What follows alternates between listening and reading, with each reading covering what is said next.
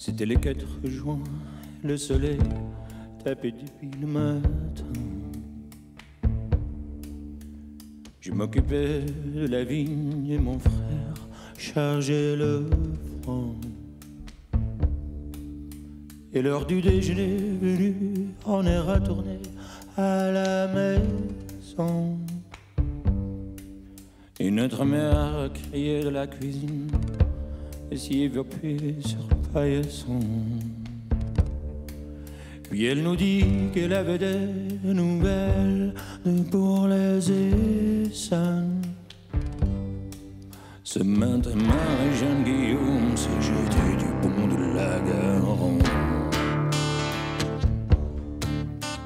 Et mon père dit à ma mère, en nous passant le plat de gratin.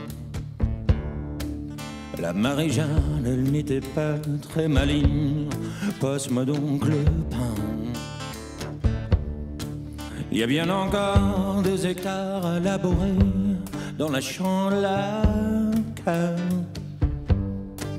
Et maman dit, tu vois quand j'y pense, c'est quand même bête pour cette pauvre Marie-Jeanne.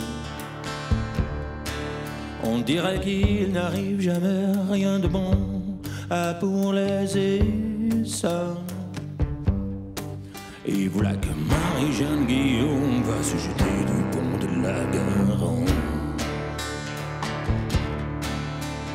Et mon frère dit qu'il se souvenait qu'on lui et moi et le grand Nicolas.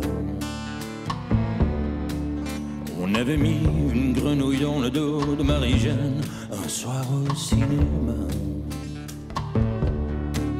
Il me dit, tu te rappelles, lui parles ce dimanche près de l'église. Donne-moi encore un peu de vin, c'est bien injuste.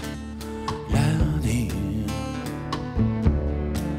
dire. Que je l'ai vu hier à la scierie, à pour les Essonnes.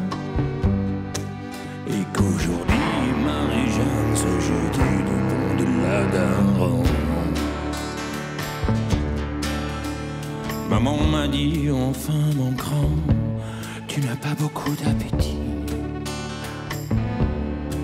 J'ai cuisiné tout ce matin et tu n'as rien touché, tu n'as rien pris. Dis-moi la de ce jeune curé est passé en auto. Elle m'a dit qu'elle viendra dimanche à dîner et au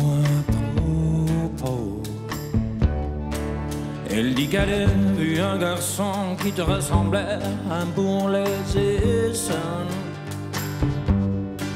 Et lui et Marie-Jeanne jetaient quelque chose du pont de la Garonne.